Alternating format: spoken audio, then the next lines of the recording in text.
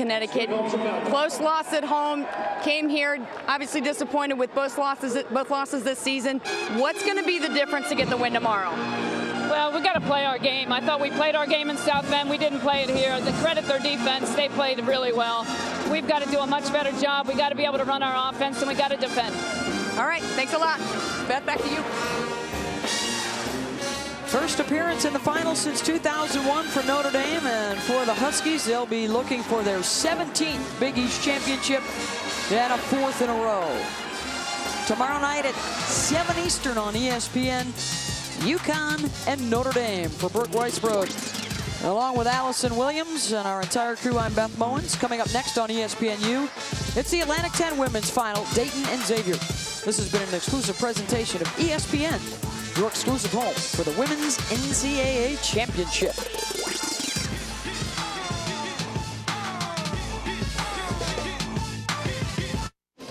Tsongas Center in Lowell, Massachusetts for the Atlantic 10 championship game.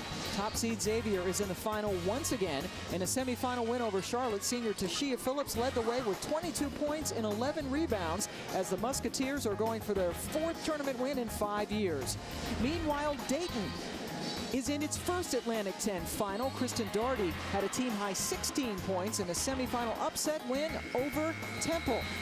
It's the Flyers and the Musketeers coming up next as they battle for the Atlantic 10 championship.